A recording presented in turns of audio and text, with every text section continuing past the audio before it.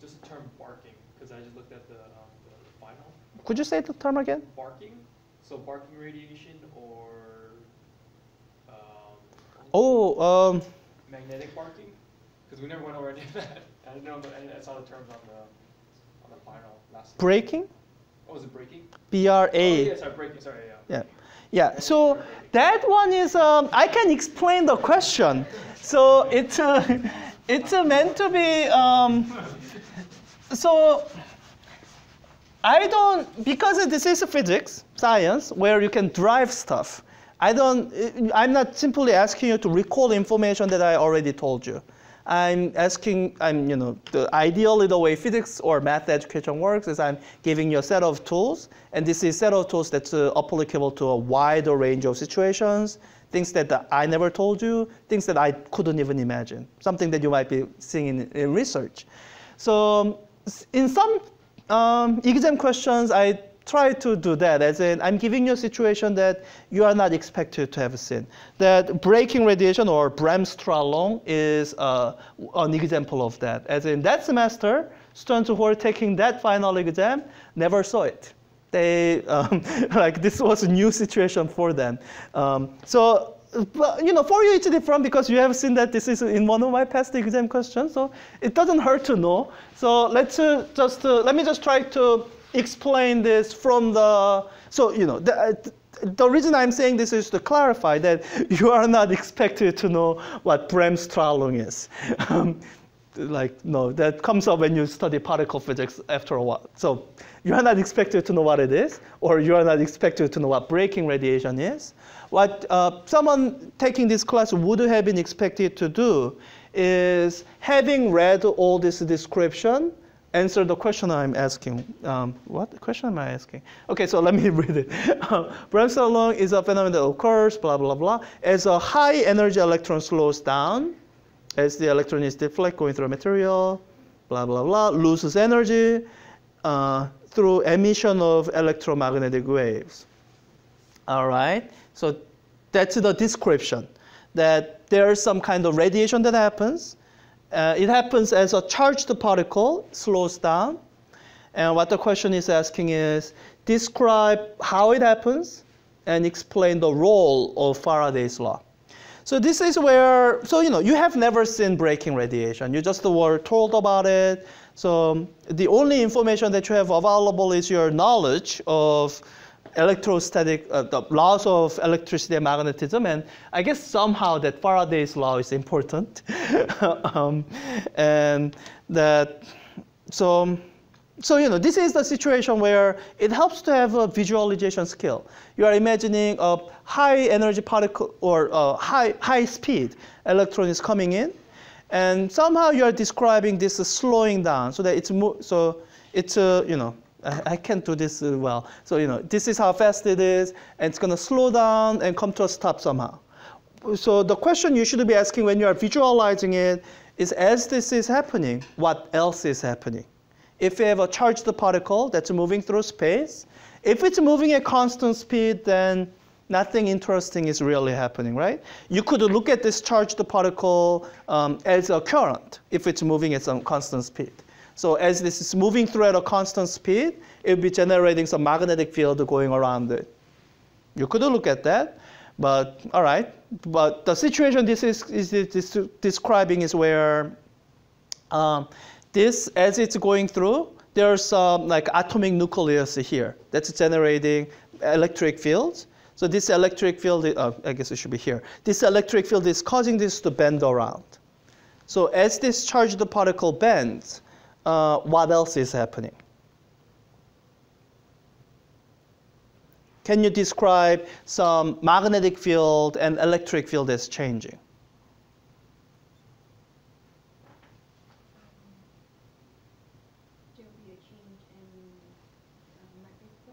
Uh, so th there will be change in magnetic flux, and the way it's happening is as this charged particle is passing. So when it bends, so so when it, uh, when it bends around, the, uh, how do I put it? Um, the, this particle is accelerating. So the magnetic field that's being um, so uh, how yeah so that's why it's a conceptual question i think i don't um, Could we answer this potentially Yeah. like, um, one of the homework questions I remember about the, the northern lights kind of thing? Not quite. In the Northern Lights case, that's more of a magnetostatic case because you are looking at, you have uh, some magnetic field generated by Earth, and the charged particle is moving in a way that it goes helically around it. Um, here, it's really, um, so that, that's where, um, here it's different. So you are looking at where the, the path of the charged particle is changing, so it's accelerating. So I guess here's the way you could maybe look at it. Um, so helps to have. Let me write down uh, Maxwell. Actually, I have uh, Maxwell's equations in one of these um, tabs. Um, so for the uh, answer to the question I was repeatedly asking, you know, as this happens, what else, what else happens? This is the situation that, um, so when you are trying to look at what else happens, what's the effect electromagnetically is going to happen, uh, what you should have in this mind are this set of equations the Maxwell's equations, Gauss's law, uh, Ampere's law, and Faraday's law. So um, when you have a charged particle in space, this will generate electric field according to Gauss's law. If this charged particle is moving at some particular speed, so it looks like a current, then it'll generate magnetic field according to Gauss's according to Ampere's law. So the question itself, you know, this is the hint that's given to you in the question. Um, what is the role of Faraday's law? So, so you could actually start from the end point. Well, this is Faraday's law. What does it take for Faraday's law to come into effect? Um, you see that, so this is the result of uh, the law being in effect. And what it's needed, what is needed for this Faraday's law to be brought in, is that you need to have a time-varying magnetic flux. So when you have a, so this is the part that I struggle um, with, um, because if I imagine myself as an observer in space, then as this particle goes through, I do see time-varying magnetic field because um, if I have a single charged particle that's moving at some speed, a constant speed v naught, then what's associated with this particle are these sets of electromagnetic fields. So it's going to have electric fields pointing away like this. It'll have this electric field. And because this kind of looks like a current, it also has magnetic fields associated with it. It looks like, using the right-hand rule, you have magnetic field coming out over here, going into, kind of like this. And these magnetic field lines, when you imagine drawing it, it sort of looks like a circles going around this. It's uh, uh, weaker as you are farther away, stronger right here. And when I imagine this particle moving past me, as an observer just standing here, looking at um, looking at what kind of fields are moving past me, I see this magnetic field flux uh, around, for example, magnetic field flux around um, through this loop. Oops. Magnetic flux uh, through this loop, I see changing as this magnetic field sort of passes through. So I think what I have to sort of for this to make more physically meaningful sense, what I, I think it, maybe this is easier this way. Um, I have to imagine myself being in the reference frame of this charge, right? Because that's the way to make sure that when this charge is moving at a constant speed, then nothing funny happens. Because if I'm in the reference, if I'm moving along with this charge, then in this reference frame of this charge, there is no magnetic field. There is no current. All I have are electric fields. Now, what the question is describing is this charge accelerating, uh, its velocity changing. So if I start off with a, in the reference frame of the charge, then at some later moment in time, as this uh, atomic nucleus comes and hits it, this will accelerate. Then I can ask the question, what else happens as this charge accelerates? As this accelerates, I'm going to see magnetic fields being generated.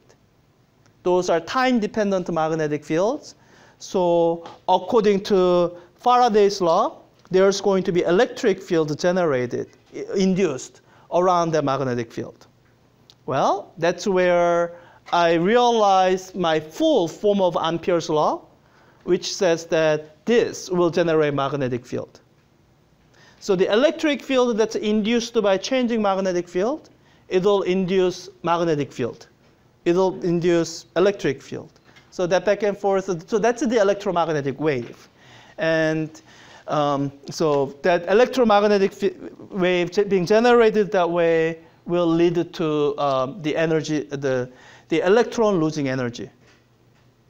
So actually, this is um, something that we didn't quite address in this class. Uh, so that's, uh, I think, what this answer is describing. Um, and you know, I'm not really looking for uh, anything more detailed than that. Um, this is an aspect that we kind of skipped over in this class that eventually comes up uh, when you take physics 4C. So this is how we have described um, electron moving in a magnetic field. We say, you know, electron is uh, moving along, and if you, if you, put a magnetic field, it's going to start to go in circle. So it's going to start to go in circle, something like this. And that's where our analysis have stopped so far.